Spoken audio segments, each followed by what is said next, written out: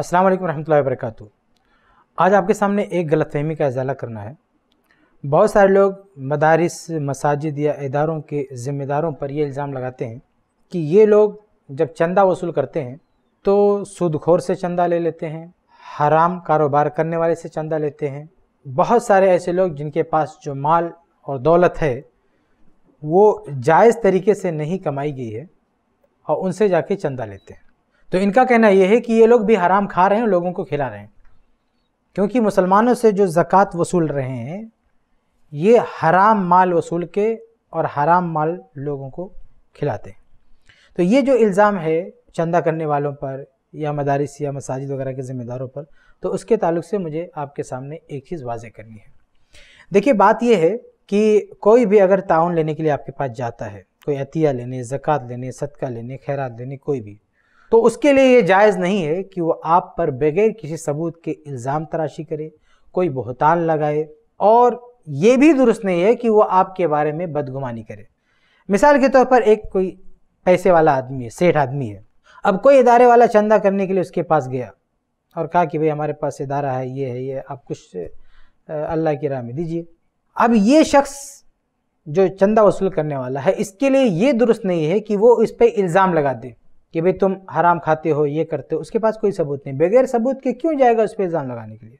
और दूसरी बात ये कि इसकी ये भी ज़िम्मेदारी नहीं है कि जाके आपका पूरी कमाई, आपका पूरा माल स्कैन करे, पूरा पता लगाए, पूरा बायोडाटा मांगे। क्यों मांगेगा?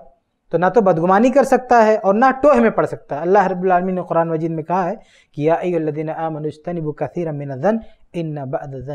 वला अल्लाह फरमाता है कि, ए ईमान वालो बहुत ज़्यादा गुमान से बचो, क्योंकि बाज़ गुमान ये गुनाह होता है।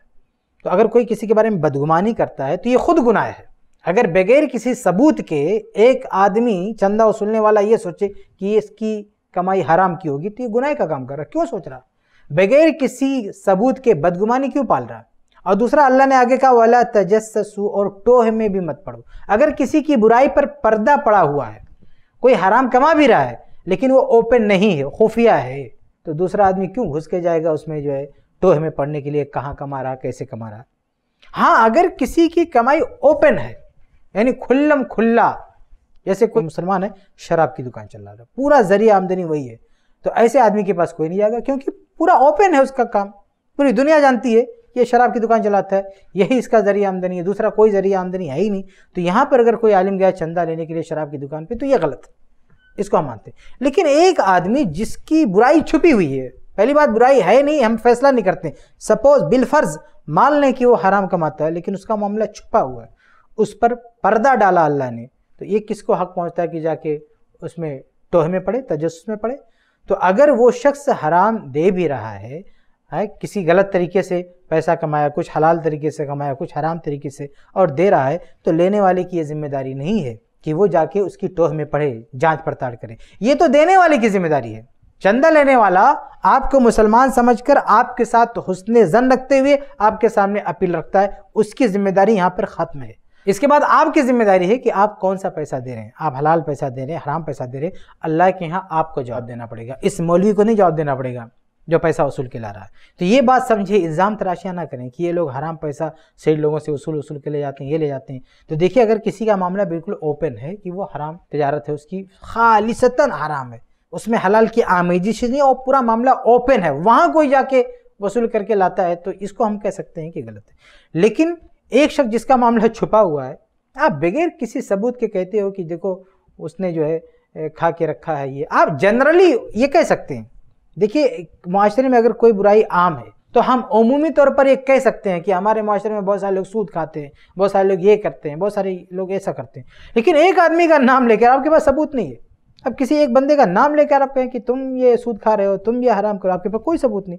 तो बगैर सबूत के आप क्यों किसी पर इल्ज़ाम लगाएँगे? तो ऐसे आप किसी पर इल्ज़ाम नहीं लगाते ऐसे कोई चंदा वसूल करने वाला गया तो वो भी क्यों इल्ज़ाम लगाएगा किसी पर?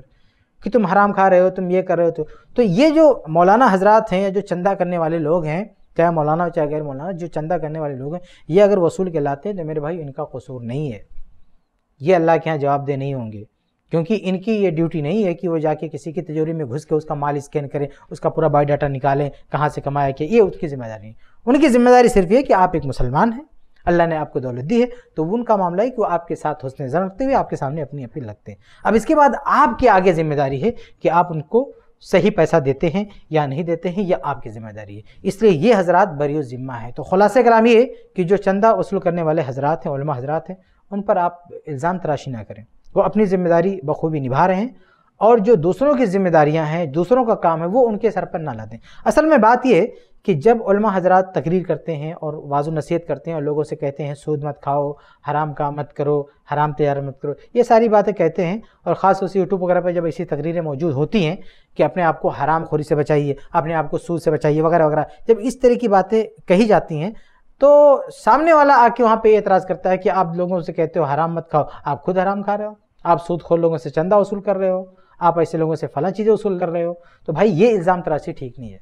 कोई चंदा वसूल करने जा रहा, आप उस पर ये इल्ज़ाम ना लगाएँ, क्योंकि उसकी ज़िम्मेदारी ये नहीं है। उसकी ज़िम्मेदारी है कि आपके साथ हुसन जन रखते हुए आपसे एक जायज़ अपील कर रहा है। अब आपकी ज़िम्मेदारी कि आप कौन सा पैसा दे रहे हैं, कहाँ दे रहे हैं, ये इसकी ज़िम्मेदारी नहीं है। तो ये फ़र्क आप समझें। लोगों को हराम खोरी से या सूद खोरी से बचने की बात करते हैं तो इसका ये मतलब नहीं कि खुद वो उसके उल्टा करते हैं और सूद खोरों से चंदा लेके आते नहीं, ये उनकी ज़िम्मेदारी नहीं। अगर कोई दे रहा है तो उसकी गलती है। लेकिन ये उलमा की ज़िम्मेदारी नहीं कि खोद खोद के पूछें। बिला वजह उनकी प्राइवेसी में जो है दखल अंदाजी करें, ये उनका मामला नहीं है। अल्लाह ने उनके गुनाहों पर पर्दा डाला, वो समझेंगे, अल्लाह समझेगा, ये उनकी ज़िम्मेदारी है, उलमा की ज़िम्मेदारी अलग है। तो ये गलत फहमी थी, जिसे मैंने आपके सामने वाजे किया। अल्लाह ताला हम सबको हर तरह की बदगुमानियों से बचाए। आमीन रबालमीन